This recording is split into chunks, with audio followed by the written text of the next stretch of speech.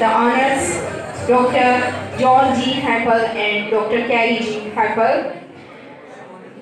आपको पता है नॉर्वे एक ऐसा कंट्री है जिसने हर फ़ील्ड में, हर फ़ील्ड में अपना लोहा मनवाया पीस एंड प्रॉस्पेरिटी इसका साइन रहा हमेशा इसने अमन की हामी ली और अमन का ख्वाह रहा साइंस की अगर हम बात हम पास्ट पर नज़र उठा के देखते हैं नॉर्वेजियन हिस्ट्री में जब हम नज़र डालते हैं I would like to share something I have said allot ma'am when so I came to know that you are coming here in our country I have such a lot about Norway and I have uh, my knowledge my, my knowledge enhanced a lot through the history of discipline one can observe the position that a scientist adopts in controversies and in the changes that affect his science both in what he cites and the judgments he makes concerning events and people in the past, and also in what he omits or over, and obviously in the material he chooses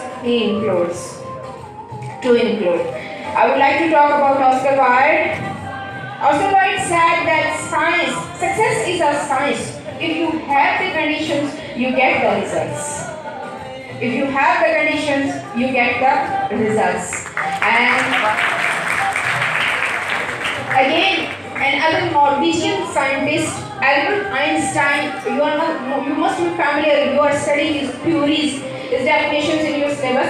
But I came to know, came across to know right now that he belongs to Norway. Albert Einstein said that two things are infinite. Two things are infinite, the universe and the man stupidity. Man's stupidity. And I really agree with him. With your applause, before this, I, will, I, invite Dr. John D. Hampel on the stage.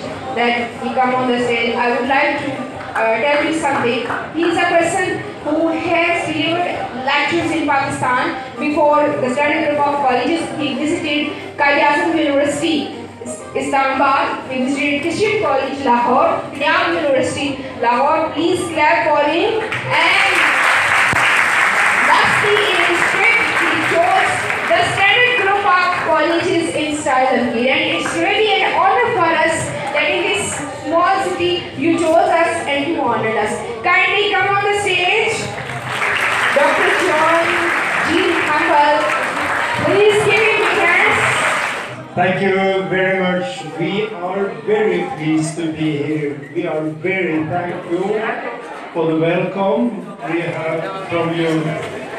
And as is told, uh, my wife and me, we are coming from the University of Stavanger in Norway.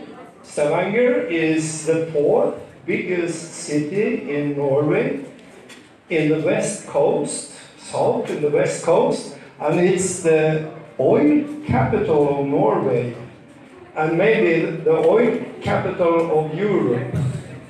We are uh, attended to the University of uh, Stavanger, and I am uh, in the science department. I'm a doctor in science, in biological chemistry and molecular genetics with genes and proteins and so on. And my wife, she is an historian, and it's her projects. Because of her project, we are here, and he, she will tell you more about the project and the migration of the Pakistans to Norway and returning and comparing that with the Norwegian immigration to the United States 150 years ago. So I think she will have the whole presentation of the project. And as I said, we are very pleased to be here. We have been to Lahore for a week or so and had some lectures at universities there. And after this sequence, we will go to Islamabad and stay there for three days and visit the Norwegian embassy there. And we are very pleased to meet all of you. You are Thank you. Ladies and gentlemen, by proceeding the program, I would like to talk share some fun facts about Norway with you. Norway is a kingdom of Norway. Norway is a Nordic narrow country in the northern Europe. Am I right, ma'am? It shares the Scandinavian peninsula with Sweden and Finland. Norway coastlines is famous for its fjords, which are sea inlets. And more, if you want to know about Norway, its capital is Oslo. Am I right, ma'am? A large city, its official language Norwegian and its official minority, minority language is Romani. Its writing system is Latin. Its writing system is Latin. Sir, you are enjoying or you are smiling? Thank you so much. And there are ethnic groups, Norwegian, indigenous status, Jewish and travelers, and Romanism. And its government is unitary parliamentary constitutional monarchy. Please clap for Norway.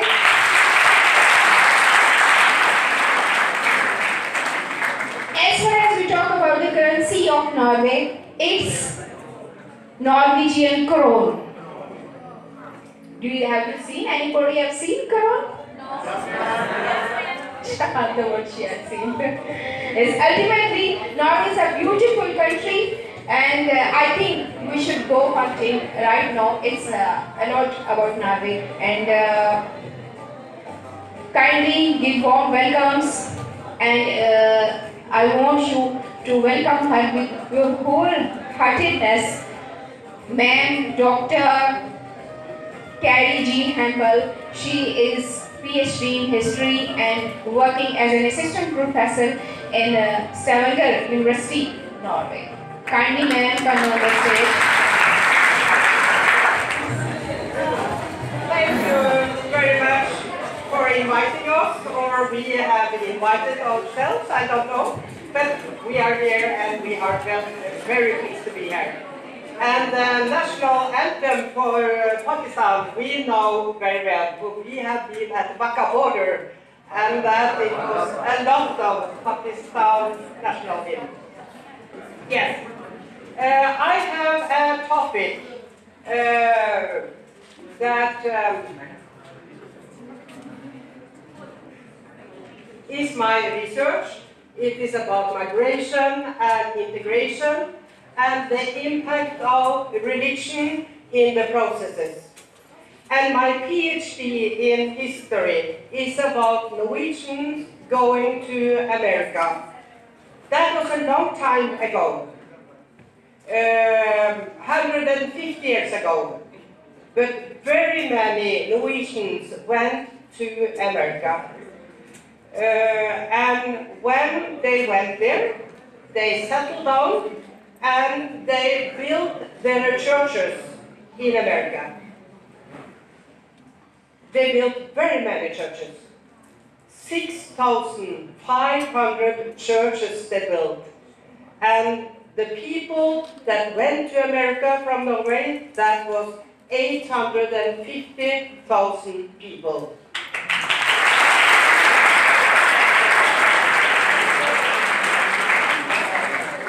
And to understand that figure, in 1800, Norway was about 1 million inhabitants. In 1900, Norway was about 2 million inhabitants. And in that space, 850 Norwegians left Norway for America.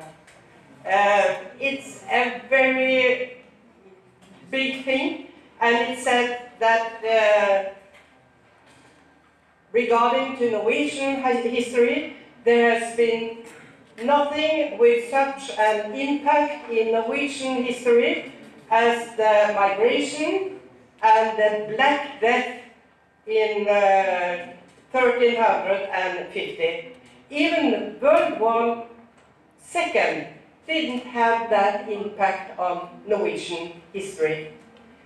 Generally, migration is no longer viewed as a sign of crisis, as a phenomenon exclusive to the industrial period, as an element of modernization, trans- transition, or as a typical Western occurrence.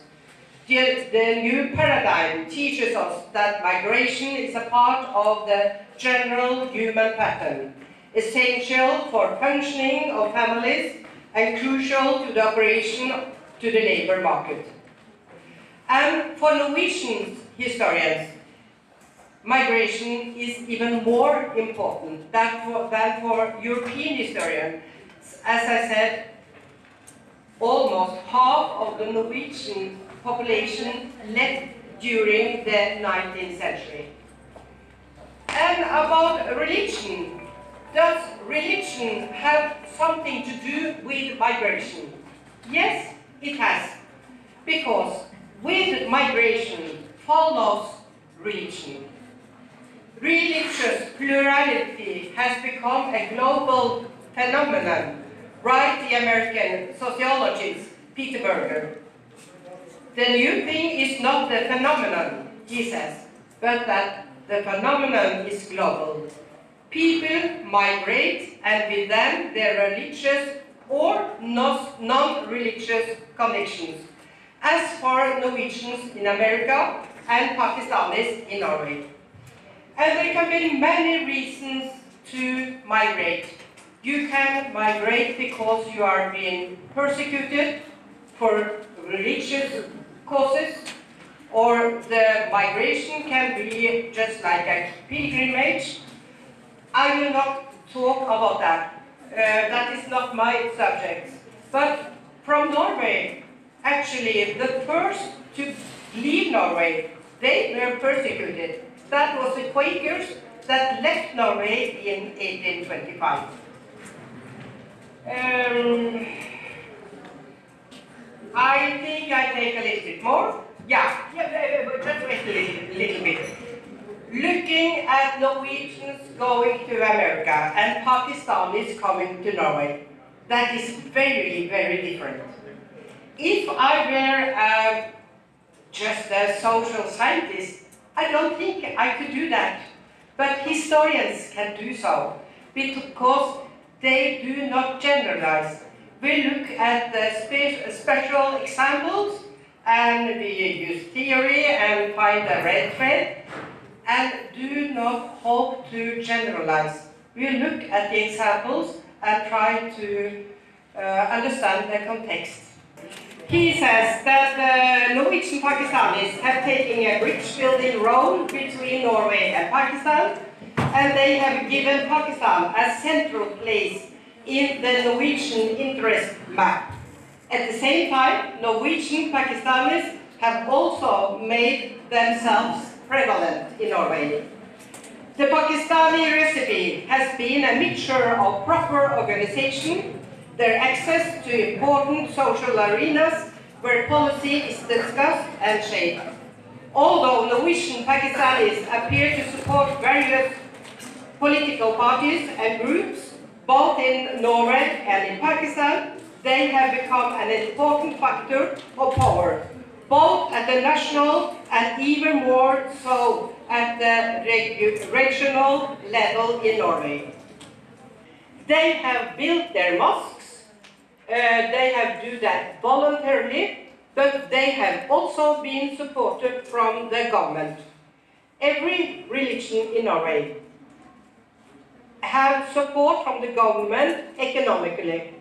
Uh, if you are organized, uh, the organization will uh, send something to the government and they go pay back. And what we see about uh, Muslims in Norway that are, is that they are very bold. They are very open religious. Very many Norwegians dare not to be open religious because religion is about the private in Norway. That is a part of the secular country. We are a secular country with strong, strong Christian traditions. But, uh, but uh, religion is about privacy. But we see uh, Muslims that are not private religious, they are re uh, showing uh, their religion, so perhaps that is something that will affect the Christians in Norway as well. And I think back end.